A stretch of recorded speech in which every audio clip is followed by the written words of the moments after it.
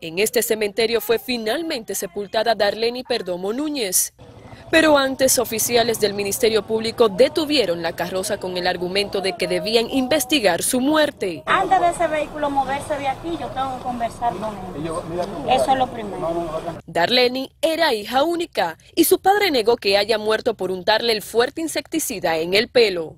La niña, no sé, cuando yo llegué ya se bañó. Yo estaba ahí.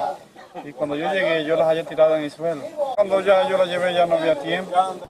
La niña de 12 años de edad murió supuestamente por intoxicación después de que sus padres le aplicaron un químico para tratar de acabar con los piojos que tenía la pequeña en su pelo. Una decisión muy errónea debido a la toxicidad del producto. La piel es un órgano que absorbe. Coger y usar un insecticida y ponerse a un paciente, a una persona a la cabeza, a un adulto, no tiene que ser niño. Es una muerte inminente. Esto fue un bestialísimo que hicieron los padres por ignorancia.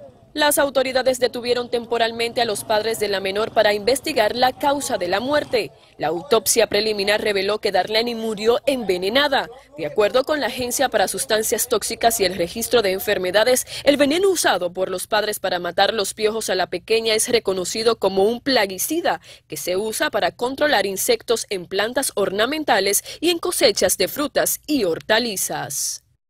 Al cadáver de la niña le realizaron estudios toxicológicos cuyos resultados serían determinantes en este caso, en el cual los padres podrían ser enviados a la cárcel por homicidio involuntario al intentar matarle los piojos. En República Dominicana, Indira Navarro, primer impacto.